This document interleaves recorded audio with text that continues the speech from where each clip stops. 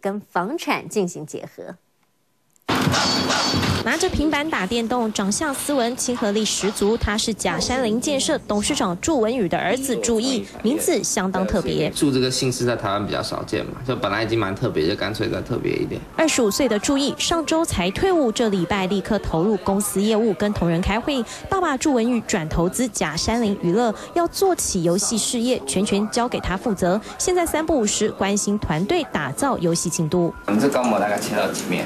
这大概一万面吧。预计第一阶段先做手机 App 游戏，最快年底上市。第二阶段就是 PC 单机游戏，明年底问世。因为他跟父亲都爱玩游戏，所以想借由 PC 跟手游打造品牌。未来还会结合房地产。从小玩我们游戏长大，以后等他有能力买房子的时候，他可能会是。建设公司品牌里面，可能只会听过我们这一家。